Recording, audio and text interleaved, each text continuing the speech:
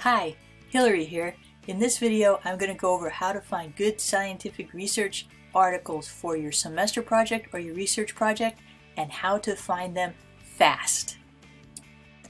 As a review, here are the six guiding questions of inquiry which you are working through for your semester project. You've already finished your two introductory paragraphs, which means you've covered your issue and you've covered what type of judgment your inquiry issue requires.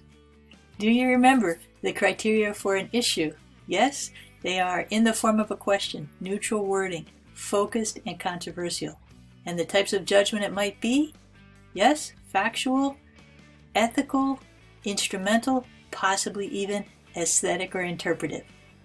And now in Unit 2, we've been gathering arguments. Up to now, we've gathered them mostly from the internet and we've gathered interesting web pages and laterally uh, searched them to find more about the web pages. But today in this video, what we're going to do is the scientific articles that we're going to find. And these scientific articles will have new and different arguments about your issue. So what is our goal here when we're finding peer-reviewed references? For this project, we want to find three peer-reviewed research articles. That means three articles where you can see a clear method section and a clear results section. We're not looking for analysis of your topic. We're not looking for reviews of other research. We're looking for real research where the authors have actually done the research. It might be in a, a lab experiment. It might be a survey study. It might be uh, some other kind of clinical study, but it's definitely research with methods and results clearly visible. And you also want to find one meta-analysis or summary review. A summary review may also be referred to as a systematic review. So, what's the difference between a meta-analysis and a summary review? A meta-analysis is a very particular type of article where they take all the research that has been done on this topic and they combine it as best they can into one gigantic study and do statistics on that. So for instance, you may have 10 studies that have about 25, 30 subjects each. You combine them into a meta-analysis and all of a sudden you have a study with 300 subjects, which means that whatever trends or results you find are that much more statistically significant because you have a larger sample. On the other hand, a summary review uh, is where researchers take all the articles that have been written and just try to summarize the conclusions and see what kind of trends are around. The meta-analysis is the better one for this project. Hopefully you can find a meta-analysis. If you can't, you can settle for a summary review. Amongst these three peer-reviewed research articles here, one of them you are going to dive deeply into, make method slides about it, make results slide about it, really, really uh, get into that one article. And then with that background, you'll write short summaries of the other two.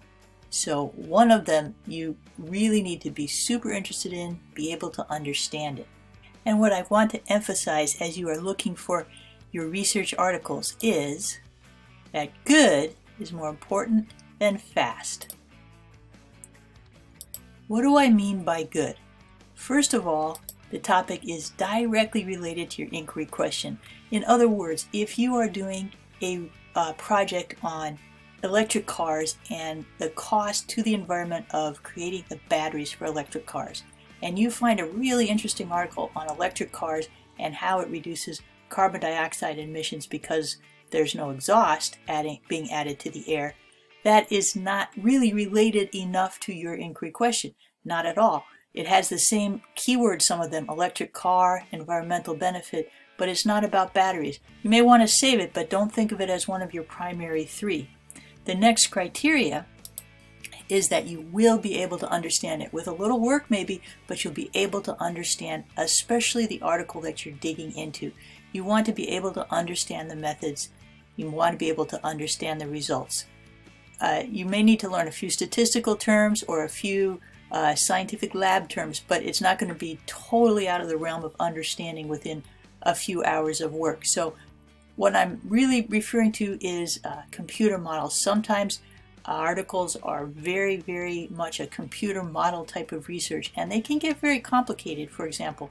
So if you're not a computer models expert and you don't want to become one this semester, maybe don't make that your principal uh, article of the three research articles that you're going to do.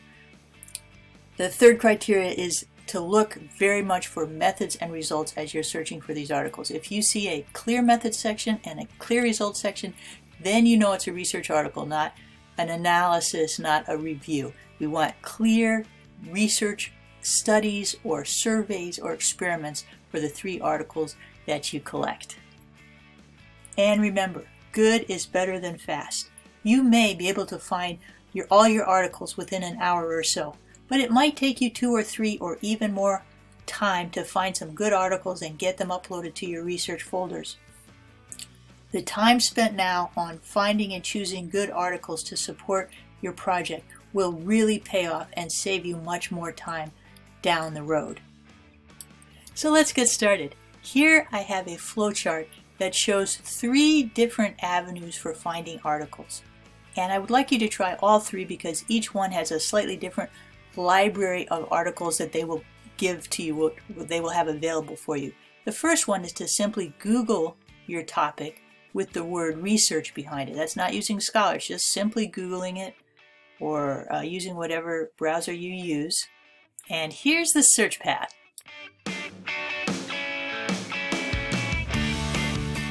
Let's see what that looks like in real life. For an example, I've chosen one of our resilience collaboration questions. Can resilience be taught to children? So I type that into the search box followed by a space and the word research. As you can see, the first things that come up are basically resilience guides for parents. Probably very interesting, but they are not methods and results scientific research. So I'm going to scroll down. More reviewed articles, the science of resilience, and then I find this .gov article, which is from the NIH, the National Institute of Health. So I click on it, and it brings me to this article, Resilience in Children Developmental Perspectives. So this is a review and analysis article too, not this time directed towards parents, but directed towards other scientists. But it might be a start. Be careful, that section 2, Methods in Developmental Resilience Science, is not a method section. It's just a review of developmental resilience science methods. So it doesn't say uh, we had 30 subjects, we did this intervention. It's just a review of methods. So, although this article is not the type of research article I'm looking for, I am going to save it for its background information. And also, it has a lot of references at the end of the article. In fact, it has a hundred resources or references. Very often, the article you find just by Googling it will have a lot of references at the end. You can look through those references, scan those references, and find out some more articles. So let's see what that looks like in real life. To make sense of all the references I found in the review article, I tried using Command F to pull up the search box, the find box. In PCs it's Control F, I believe. And I typed in teach, hoping that that would help me focus down on some of these many, many reference articles. But in this case it didn't really help. The Teach search brought me to articles about how to teach teachers to be resilient, and what I'm really interested in is can we teach children to be resilient? So then I decided to just quickly skim the article and scan the references and see what I could find that might be helpful.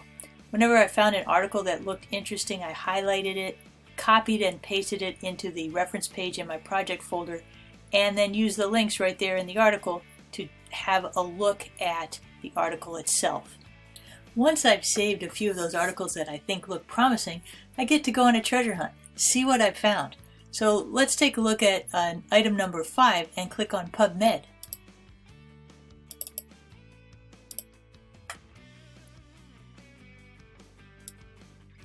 And it's an article, Modifiable Resilience Factors to Childhood Adversity. Um, it says we identify and document evidence for five modifiable resilience factors. They're documenting evidence that might be research. Let me look at it. Wait, stop before you do anything. Go get the citation. And I like MLA. If you like APA, that's fine. Copy and paste it right into your reference document. You won't have to look for it again. Good job. As you can see, this is a free article. So I can uh, click here and get the full article. And here it is. And I'm going to scroll down and see what I can see. Abstract, background, more background, resilience. Again, this is a review kind of article, so not exactly what I'm looking for. Let's try again. You know what, scanning these articles, this one here, number 80, looks a lot more promising because it's got these key letters here, RCT, Randomized Controlled Trial. That is definitely an experiment, so let's click on PubMed again. Well, the title of the article itself says RCT, Randomized Controlled Trial, so it's definitely an experiment. But let's just check and make sure. There's the abstract. Right there in the abstract, it tells the methods. Uh, participants were students at two Baltimore City public schools. In the results, it tells us that there were 300 5th to 8th graders. And if I scroll down, I will find that all-important methods section right there. So this could be a very good article for my research project. Yay, I got one. Wait, wait, before you leave the site, don't forget to go get the citation right there. Good job. The next avenue is to use Google Scholar. Here's the difference between Googling something with the word research and Google Scholar. If we Google something, we'll get a whole bunch of results. Some of them will be popular, some of them will be scholarly. But if we click on a scholarly article that we find there, we will probably get to the whole article. On the other hand, if we use Google Scholar, we will immediately filter out all the popular articles, but the articles we do find may not take us all the way to a full article. We may just get an index card giving us the reference and a short abstract. So let's look at these pathways. The Google Scholar pathways. When you go to Google Scholar, you may find an article that works. Right there, you'll have the full text and everything you need. Let's see what that looks like in real life. So I Google Google Scholar, go to Google Scholar, type in my research question, can you teach resilience to children, and see what I get. A bunch of articles, they are definitely scholarly, some will be research, some will be review or analysis. So I'll have to scan again and find the research articles themselves with methods and results. The first article looked promising, but when I checked it out, it was a review article. The second article also looked promising, but whoops, again, a literature review. Rats. Well, let's go back to Google Scholar and try again. Here we go. Here's something that looks interesting. Using play and drama in developing resilience in children at risk. Sounds like it might be an experiment. I pulled this citation up from Google Scholar again because I wanted to show you two things about these citations. First of all, many of them will have a PDF right over here on the right. You can click directly there. If they don't have one, you can often get to it by uh, going through the title here. And also, you can get the citation right there. So let's get the citation before anything else. Just in case I want to use it, it'll be better to get it now. And I'll take the MLA citation and put it in my reference document. Now just for fun and practice, let's pretend that the PDF is not available on the right and we have to go right through the title. Let's see what happened. All right, what do we have? Download full text in PDF. Download this article using play and drama in children in developing resilience for children at risk. That sounded like a great article, but when I skimmed through the article, it turns out it was just six short, very short case studies of six children and how the teachers had used play and drama to help them develop their resilience. Kind of interesting, but it might not be one of my three great articles that are going to support my research project. I'll save it, but I'm going to keep looking. Remember, when I say article that works, I mean that it's a research article, not a review article, a research article with result methods and results. The full text is available right on the internet and it's focused on your topic. Those would be an article that works.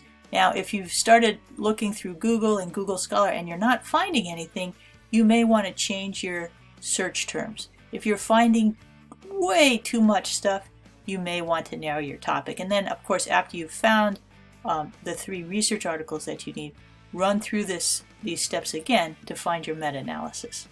Now that you know what those purple boxes are all about, back to the search. Another possibility is that you use Google Scholar and it gives you the name and abstract of an article that looks just great, but you can't uh, find the full text on Google Scholar. No worries, just copy the title of the article and look for it in our library database using the Quicksilver Fast Search. And our library database might just have it and we'll get the full article right there in the library. And here's what that looks like in real life. Here's an article in Google Scholar that looks just great. Teacher delivered resilience focused intervention in schools with traumatized children following the Second Lebanon War. It looks like it's going to be really interesting. Let's see what happens. And here's the article. Uh, read the full text. Uh, scroll down and it's asking me to pay money for the article. So no worries, I'll do what I said. Copy the title and copy. Go to the library resources, click articles, paste in the title, click search, and here it is right here. Full text available. Now I have to weave my way through a little bit. Here's the article. Please stop before you go get that PDF full text. This is a great page in our library database to get the citation. It's right there. And you can choose from all these possibilities. Again, I'll choose MLA. And copy, and I've got it. Good job! And there's the full text. Scroll down, make sure it actually has methods, and there it is. Methods. Participants were 983 Israeli children between the ages of 8 and 12. Could be a great article for my research project. So I'm going to save it. I'm going to download it right away. I'm going to put it right away into my project folder so I don't have to look for it ever again. Now it's time to start with the third set of pathways to finding a research article, the library database. The library database is different from Google Scholar and Google itself because it will have more articles listed and more full text articles available. It's good to start with the database called Academic Search Premier. It's a very general database, got lots of things in it, very good for a research project uh, the size of this one that we're doing in our class. If you want to try others, that's fine too. When you try Academic Search Premier, you may actually get an article with full text that works perfectly.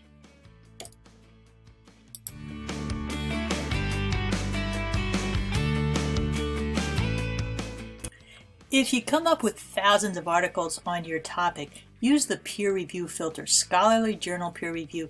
That will cut out some of the New York Times articles and some of the popular articles. You can also use the date filter to filter down to certain years where you want your articles to come to come from. Do not use the full text filter and I'm going to show you why. Let's say you go into the um, database and you come up with an article. It doesn't say full text there in the little listed abstract.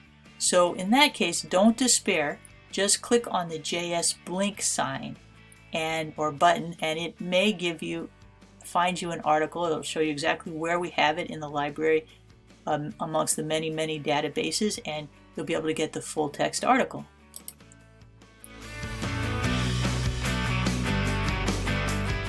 So let's see what the JS Blink button looks like in real life.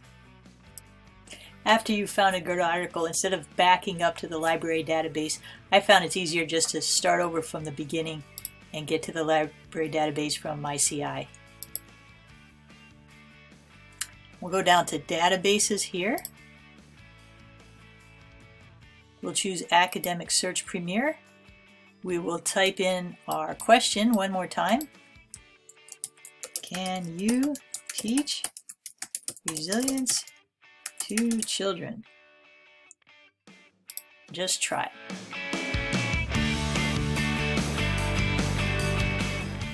Let's see what we got. There are a lot of interesting articles here with full text available, but I want to show you one that doesn't have full text available.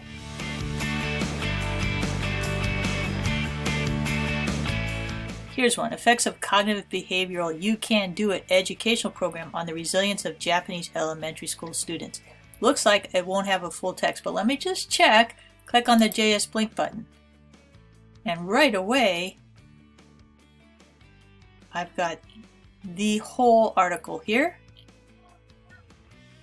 And I can see it's a methods. There was 125 fourth year students. So there we go. The JS Blink button came through for us. Okay, here it comes. The last pathway on this Finding Good Research Articles flowchart. Another alternative is you find uh, in the list that comes up an article that looks absolutely fantastic, but nowhere in our library do we have the full text, even if we click on JS Blink. So in that case, we'll go back to Google. We'll take the article's title and just enter it into your search bar in Google, and you might get the article because it might be one that is right there listed on somebody's website.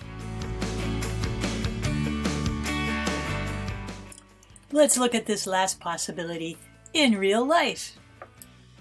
Back to the database one more time and stick with this last one. I'm going to show you some cool tricks. Academic Search Premier. Can we teach resilience to children? and search. Now what I want to show you is the filters. Look, when I put that in, I got 29,000, almost 30,000 results. That's going to be hard to look through. So I'm going to use my filters. First off, I'm going to choose only scholarly peer-reviewed journals. And that brings it down to 28,000. Still a lot. Uh, let me get research just in the last 10 years and see what happens. Brings it down to 24,000. Okay, that's still a lot, but that tells me that most of the research on resilience has been done in the last 10 years. Um, I can do academic journals, still 24,000. And I can do maybe just English, that's going to give me 23,000.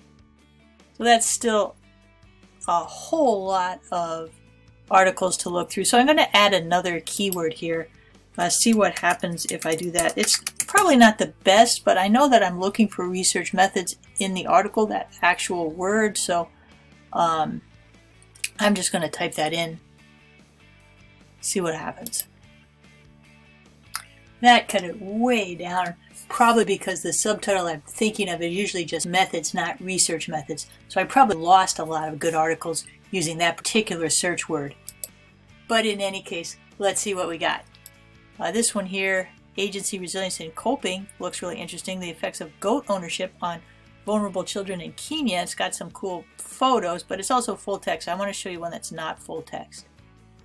And I want to show you another trick. Let's see where we can find one of those. Here, for example, if you see a bunch of charts and graphs, not necessarily that kind, but this kind here, that's a good suggestion that there has been some research and they're graphing things and they're tabling out their data. So that's probably a research article as well. But again, full text, so not the one I want. The one I'm going to look at is right here. Telling stories and adding scores, measuring resilience in young children. It's got JS Blink, so I'm going to try it.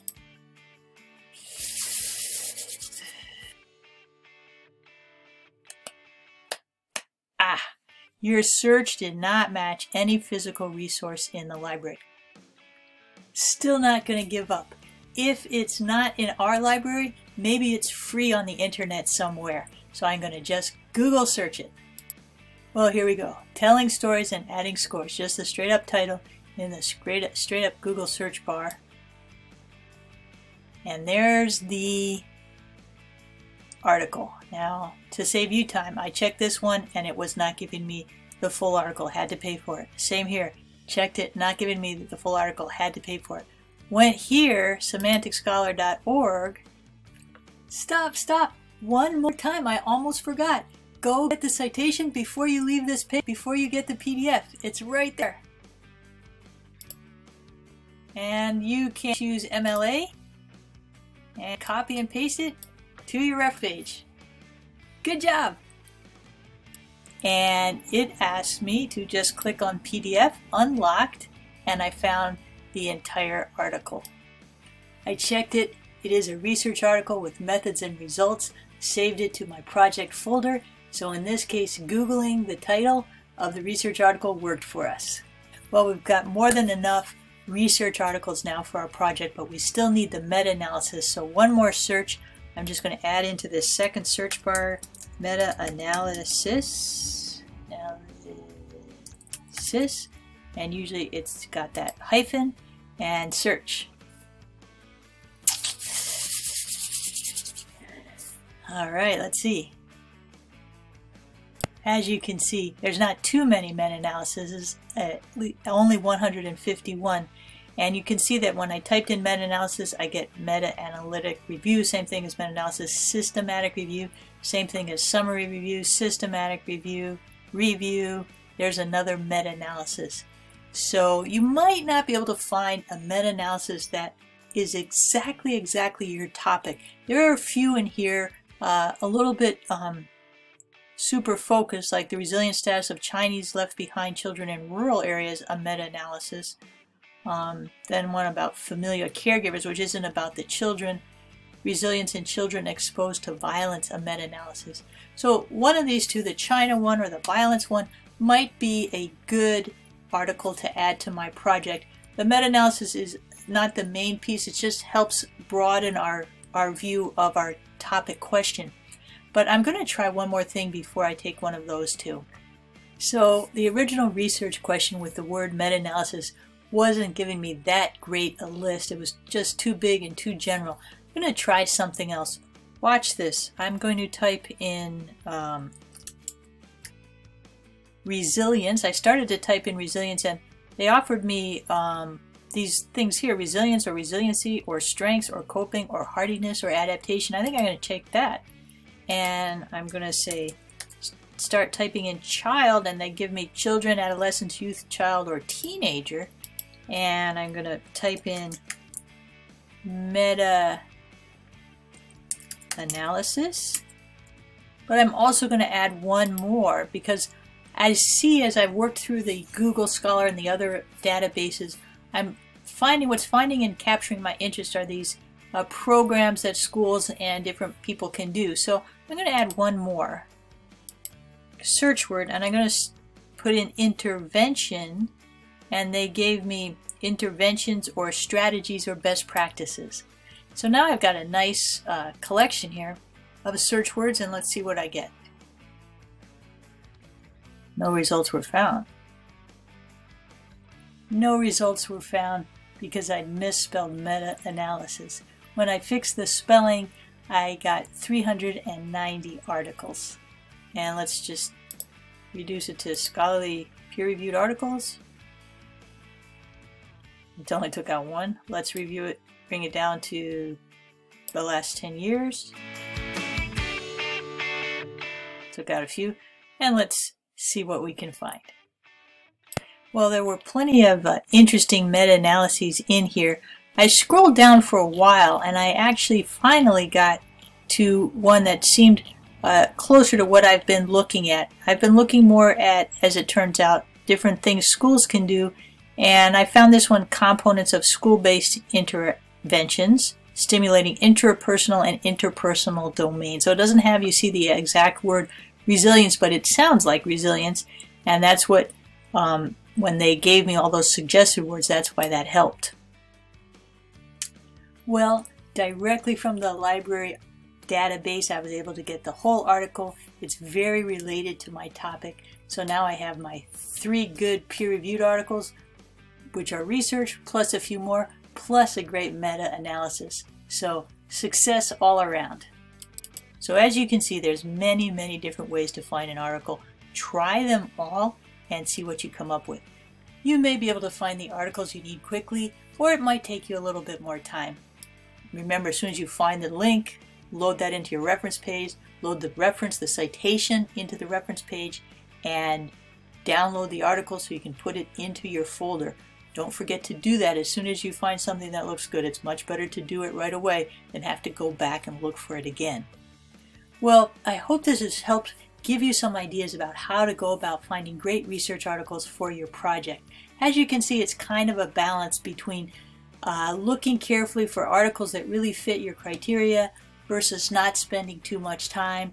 Uh, you don't want to settle for the first article you find unless it's great. It's just a bit of a balancing act. But have a good time doing it and find some great stuff.